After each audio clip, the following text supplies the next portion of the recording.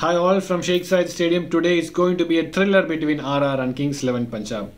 For sure, it's going to be an exciting, electrifying match because it's going to be a quarter-final or semi-final match before a playoff. Because it's a do or die situation for both the team, a must-win for both the team. It may go out to a super over as well. We never know. That kind of a match we can definitely expect. Definitely Kings 11 Punjab. The morale is very high. The matches back to back which they have won. It's the best thing which a team can gain in a tournament like this.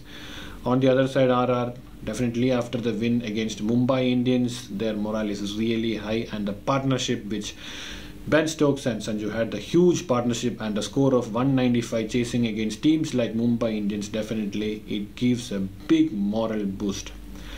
So I feel it's going to be a thriller, one of the best match we can ever see in the IPL this year's IPL. So let's let's uh, wait and watch from today's uh, interesting, electrifying match from Sheikh Zayed Stadium, RR versus Kings 11.